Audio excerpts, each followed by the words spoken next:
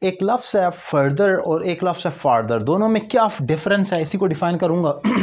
جو لفظ فاردر ہے، یہ اس طرح پرناؤنس کیا، جیسے فادر کیا جاتا ہے، لیکن فادر کے اسپیل میں فرق ہے اوبیسلی یہ آر آتا ہے اس کے بیچ میں فاردر فاردر کا لفظ اگر دیکھیں تو یہ بنا ہے فار سے فار فار کا میننگ ہوتا ہے دور. He is going far from me وہ میرے سے دور جا رہا ہے۔ تو فاردر اسی سینس میں آپ استعمال کرتے ہیں۔ فاردر کا مطلب ہے دور ہونا فزیکلی دور ہونا، واقعی ہی جسم سے ریالٹی بیسڈ مطلب دور ہونا۔ جیسے he went farther on the road وہ روڈ پر بہت دور چلا گیا۔ فزیکلی واقعی وہ میں یہاں کھڑا تھا اور وہ وہاں چلا گیا تو فردر کا مطلب ہے فردر کا مطلب ہے دور چلے جانا اور فزیکلی ریالٹی پر اور یہ میں نے بتا رہا ہوں اس کو آپ ایسے دیکھ سکتے ہیں کہ فار فار تو آپ کو پتہ ہی ہوگا جیسے نیئر ہے اور اس کا جو اپوزٹ ہے وہ فار ہے۔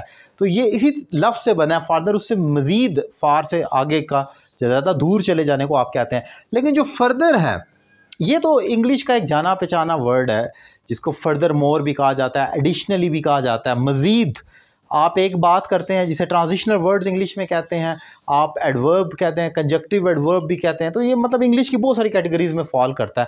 آسان مطلب اس کا فردر کر لیا جاتا ہے، مزید۔ کوئی چیز جب آپ ایک بات کرتے ہیں، یہ ہوا یہ ہوا further